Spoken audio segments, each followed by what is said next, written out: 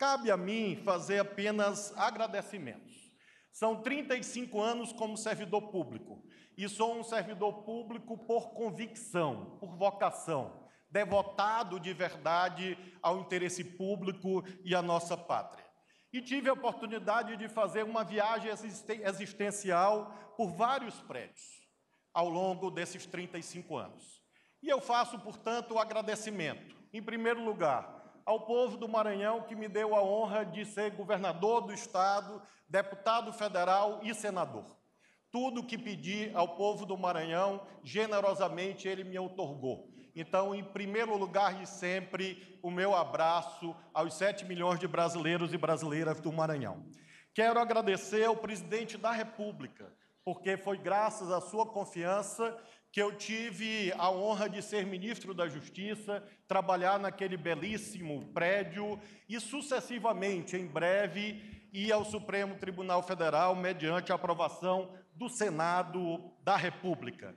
Eu tenho muito orgulho, presidente, porque sei da, da atenção, da devoção e do carinho que o senhor tem àquilo que, como diz o Alexandre, o senhor chama muito afetuosamente de Suprema Corte. O presidente Lula, bem sabe o Gilmar, nunca diz o Supremo Tribunal Federal, a Suprema Corte. E, portanto, esse gesto de afeto faz com que eu sinta mais agradecido, assim como aos meus colegas do Senado da República que aprovaram essa indicação. No Ministério da Justiça foram meses desafiadores e felizes. Defesa da democracia, dos direitos fundamentais. As causas da segurança pública, menor índice de crimes violentos, letais intencionais dos últimos 14 anos. Redução de roubo de carga, redução de roubo de banco, redução de roubo de veículo, descapitalização recorde do narcotráfico em 7 bilhões de reais, com apreensão de imóveis, móveis, dinheiro e droga. São indicadores que fazem com que eu agradeça muito a toda a equipe do Ministério da Justiça, a todos os servidores públicos do Ministério da Justiça, que são 30 mil, e agradeço a todos os profissionais de segurança pública do nosso país, que às vezes são muito incompreendidos, às vezes são vistos como pessoas vocacionadas a violar a lei, e é exatamente o contrário. Neste momento, faço questão de sublinhar que a imensa maioria dos profissionais de segurança pública da nossa nação são pessoas sérias, dedicadas e comprometidas com os interesses da nossa sociedade. Ministro Lewandowski, eu não sei qual é o seu instrumento musical de preferência. Todos, todos que me conhecem sabem o meu. Eu gosto muito de tocar instrumento de percussão, tambor, faz muito barulho.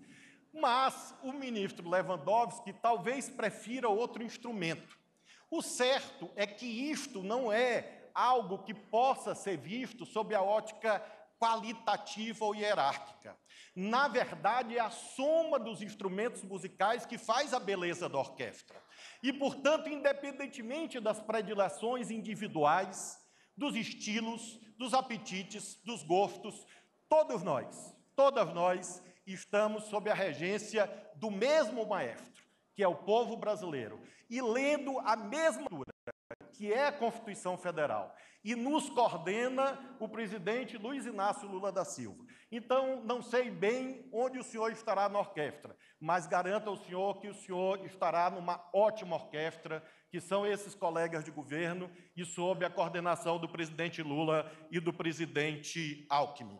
Desejo sorte, sucesso e proteção de Deus ao senhor e garanto que o senhor vai precisar das três coisas todos os dias. O recentemente falecido, grande ídolo do futebol brasileiro, Zagallo, que tinha uma fixação pelo número 13. Mas eu despertei para algumas coincidências. Uma é demasiado óbvia. A outra foi que minha sabatina foi no dia 13 de dezembro. A outra que eu fiquei 13 meses do governo liderado por Vossa Excelência, presidente Lula. E tem uma passagem bíblica da minha predileção que está na Epístola de Paulo aos Coríntios, capítulo 13, versículo 13. E ele diz lá que nós precisamos ter fé, esperança e amor. Fé, esperança e amor. E finaliza Paulo: o maior de todos é o amor. Isso está lá escrito. E esse foi o meu lema e tem sido o meu lema. Com ele ingressei nesse palácio, dele me retiro, tal qual os pássaros que fazem a revoada no fim da tarde. São os valores que presidem a minha vida e com eles me despeço, como sempre fiz há 40 anos, caminhando, cantando e seguindo a canção. Muito obrigado.